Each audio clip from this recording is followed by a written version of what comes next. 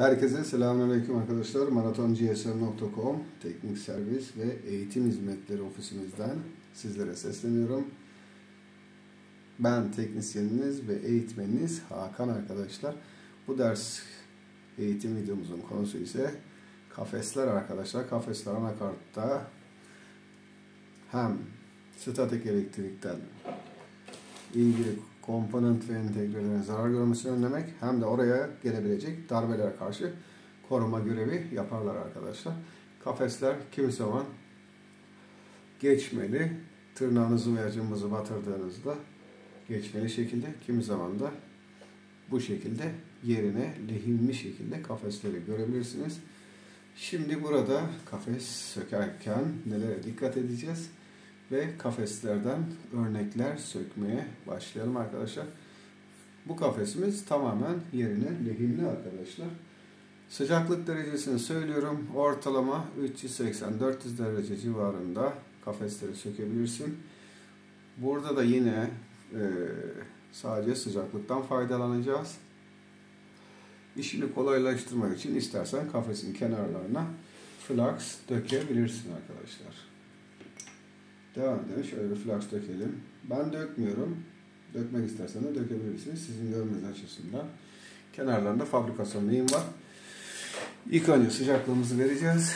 Peşinden de sıcaklıkla birlikte kafesimiz e, alt, kendisi ısınacak öncelikle sonra altındaki lehimi ısıtıp eritecek kadar ısınması gerekiyor arkadaşlar.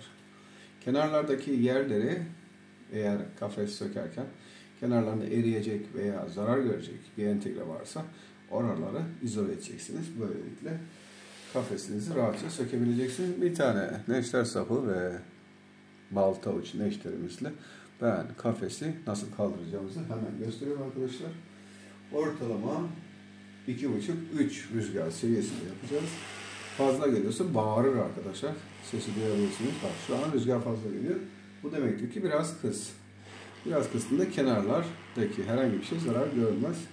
Şöyle bir genel yapısı itibariyle döneceksin. Ve kenarlarından tuttuğu için yanlardan, alttan, zeminden kenarlarını ısıtacaksınız. Ortasını ısıtmıyorsunuz. Sadece kenarlar tuttuğu için bazı yerlere iki kere geçebilirsin şöyle. Yapacağımız hareketleri sırasıyla söylüyorum. Gözünüzle bakarak, mikroskoba bakmadan buradan alttan neşteri hafiften takacaksınız. Tamam mı? Köşeden şöyle ısıtın.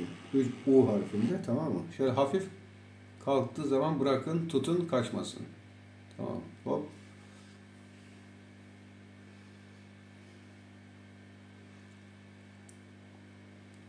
Şimdi ise şöyle tutuyorsunuz.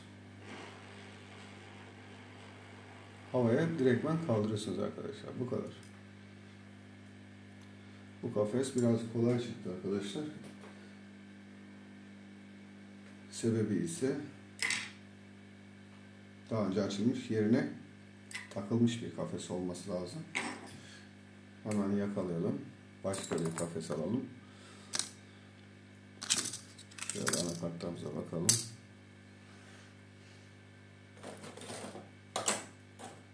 Tamam, şöyle de ufak tefek bir kafes görelim. Büyüğünde ne yapacağız? Ufağında ne yapacağız? Şurada bir ufak tefek kafes görüyoruz. Yine zeminden lehimli. Şöyle yapalım. Dönelim. Yanlarda eriyecek bir şey varsa bunlar ıskart anakart. Ben size onları da gösteriyorum. Şöyle. Bak burada bir deliği varmış. Hafiften takıyorum. Yavaşça yukarı kalktı bir tarafı. Hafif biraz daha kaldır. Hafif kaldırıyorsun bak U gibi yapıyorsun. Bir tarafını ısıtmıyorsun. Neden? Burası tutsun bırakmasın. Sen buradan e, şöyle alttan cımbızla tutup artık kalan tutan hafif kısmını havaya direktmen kaldırabilmen için yapıyorsun. Seyret ve alttaki malzemeleri dağıtmamış oluyorsun. Küçüğünde gördüğünü büyüğünde aynı şekilde yapabilirsin. Devam edelim. Başka bir kafes açalım. Sıcaklığı Rüzgarımız 2.5 seviyesinde sıcaklık 377 derece benim makinamda arkadaşlar. Siz kendi makinanızın gücüne göre bu şeyin sizin makinanın kafes açma sıcaklık derecesini deneyip öğreneceksiniz arkadaşlar. Kafes açma işi olduğunda kocaman bir kafes görüyoruz şu anda. Mantık aynı dediğim gibi. Üç tarafını bir tarafını tutmasına izin veriyorsun çıkmasın diye. Bir anda düşüp fırlar çünkü eğer şey ise. O şekilde yapıyoruz arkadaşlar. Üzerine bir ağırlık koyayım. Ve kafesi ısıtıyorum. Bunun delik varsa delikten cımbızla tut o da olur. Şöyle. Bir taraf hariç. Ben şu an dört tarafını ısıtacağım ama elimin ayarını bildiğim için dört taraf aynı anda kalkmayacak. Şimdi artık genel ısıtmayı yaptım. Şimdi üç tarafını ısıtıyorum. Yavaş yavaş biraz da hafiften yukarı doğru kendimi asılıyorum. Gelelim. Kalkalım.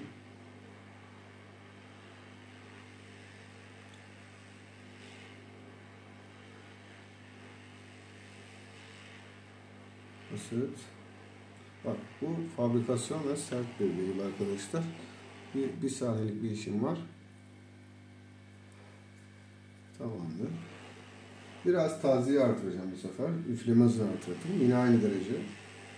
Dibinden dayıyorum arkadaşlar. Hava tabancamı. Değiyor neredeyse. Böyle düşünün. Değmiyor ama 2-3 milim yukarısından ısıtıyorum. Daha tesirli olacak.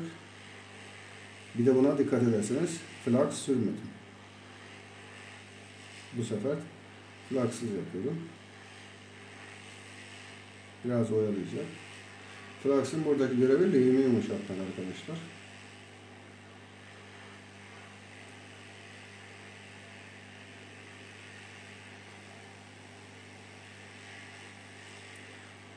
Gerekirse 10 dakika ısıtacaksın bunu. Bu çıkar merak etme.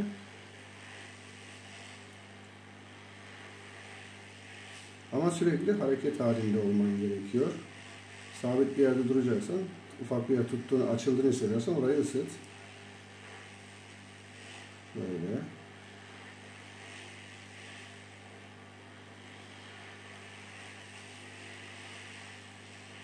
Bu şekilde geliyor. Şu an açılmaya başladı. Daha yeni altına başladı. Şu an havaya kalktı. Görebiliyorsunuz. İşte burada üç tarafından ısıtmanızdaki gaye bir anda oradaki malzemeleri dağıtmasın diye. Şimdi artık şurayı ısıtıyorum. Çünkü tutan yerleri tut, ayrılan yerleri ısıtmana gerek yok. Artık geri kalan yerleri ısıtıyorsun. Ayrıldıkça aşağı aşağı kayıyorsun. Artık asılmıyorum arkadaşlar. Yavaşça havaya kaldırım olduğu yerde. Ve kaldırdık açtık kafesi arkadaşlar. Gördüğünüz gibi. Kafes sökümü de bu şekildeydi sevgili dostlar. Büyüğü küçüğü bu şekilde sökebilirsin. Geriye de aynı şekil havyanın sivri ucunu al.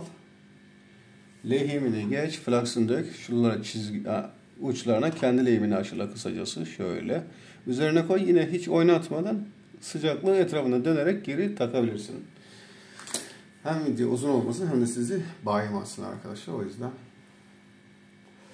olayı bu şekilde noktalamış olalım. Gördüğünüz gibi en büyüğü de olsa en küçüğü de olsa bu mantıkla açabilirsiniz güzel kardeşim. Bir sonraki eğitim videomuzda görüşmek üzere. Hoşçakalın.